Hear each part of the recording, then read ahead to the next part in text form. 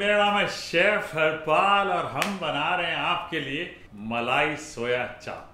अदरक, लहसुन का पेस्ट, ब्लैक पेपर, नींबू का रस, नमक लगा लेते तो मिक्स करें अच्छे से। सोया चाप लगा के इस तरह से रख लें। प्रोसेस चीज़ ले लें, अच्छे से मसल लें। कॉर्न स्टार्च इसमें डाल लें। व्हाइट पेपर पाउडर, इलायची पाउडर, जाई, फल ये मिक्स कर लें।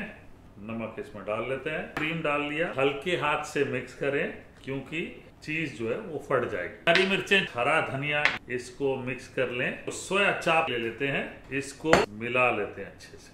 तेल डाल लेंगे ट्रे में। ब्रश कर लेता हूँ। सोया चाप है मलाई वाला। एक एक करके यहाँ सजा देते हैं। इस तरह से ऊपर भी थोड़ा तेल डाल लें।